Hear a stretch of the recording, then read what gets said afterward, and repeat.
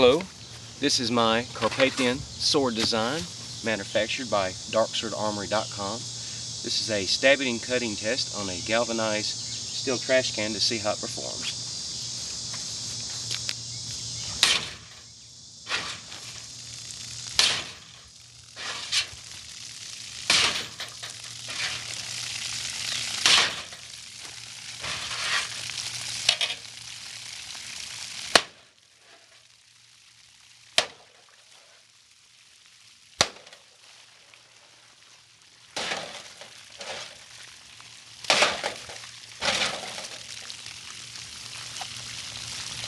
As you can see, it cut right through it.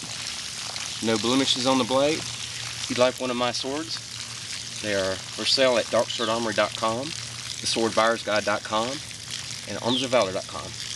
Thank you.